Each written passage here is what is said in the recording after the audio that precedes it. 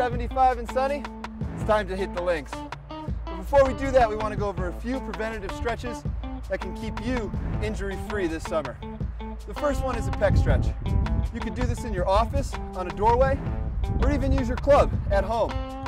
Really press your chest out, get your arms at 90 or a little bit lower, and just press back, get those pecs nice and wide. The second one is for your rotator cuff. Is gonna get you a little bit more external rotation with your arms.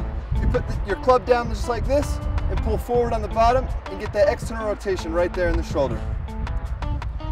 Doing this make sure that you can hit them far, hit them straight, and keep you injury free.